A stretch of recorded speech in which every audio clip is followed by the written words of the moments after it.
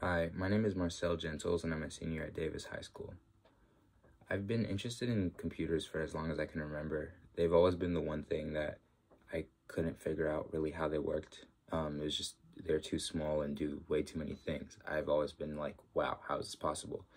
So that's been since I was a little kid, like six years old. But um, when, when I was in fifth or sixth grade, I started coding in BASIC. I taught myself how to code in BASIC and um, that was super fun for me. But as I started playing basketball year round and took on more responsibilities and kind of just got busier with school and all, I was unable to keep doing that.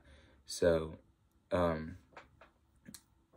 until recently, I've just been focusing on year-round basketball and other things, but uh, now applying to college as an electrical engineering and computer science major, I was inclined to kind of brush up on um, computer science and computer science topics. So uh, I've been working with a PhD student from UC Santa Barbara as my mentor in a project to build a sentiment analyzer for social media.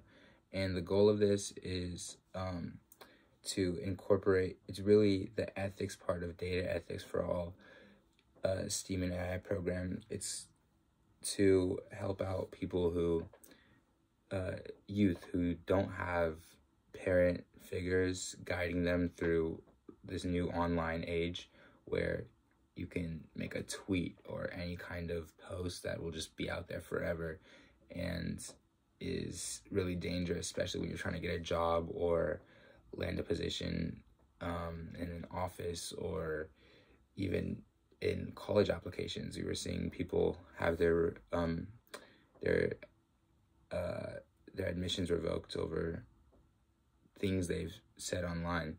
So my project is to analyze digital footprints and figure out where people need to go. Okay, like let me let me take a look at this. We're, we're building a tool that will basically be the first scan and, and um, notice this stuff before the wrong people notice it.